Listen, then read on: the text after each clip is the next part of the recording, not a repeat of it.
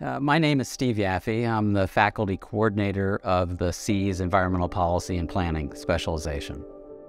The EPP specialization was designed to help students build the skills needed to create new public policies and visionary plans to help solve pressing issues such as the climate, food, and biodiversity crises and the challenges associated with managing water resources in our public lands. Classes offered to EPP students include topics relating to policy, politics, organizations, and law, environmental and climate economics, climate adaptation and water policy, and program evaluation. EPP has a commitment to collaborative problem solving to helping stakeholders work through conflict and reach durable solutions. One course that I particularly enjoy teaching and that builds skills in this area is negotiation and mediation skills.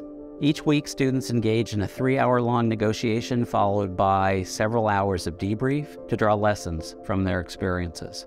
Our alumni view the course as providing skills that they end up using every day in their professional lives.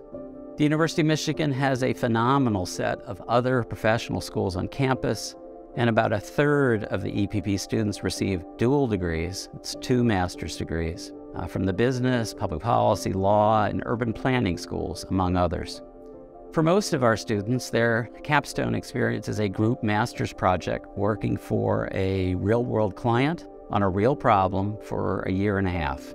In this way, we provide critical expertise to nonprofit organizations and government agencies, and we provide the students with products they can market to potential employers. The EPP program leads to a diverse set of careers Students become policy analysts, planners, program managers, consultants, elected officials, and leaders in nonprofits. For example, some organizations that have recently hired graduates include the U.S. Environmental Protection Agency, the Sierra Nevada Conservancy, ICF International, and the Environmental Defense Fund.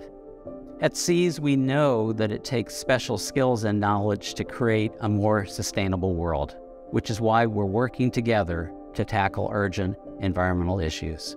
We invite you to join us on this important journey.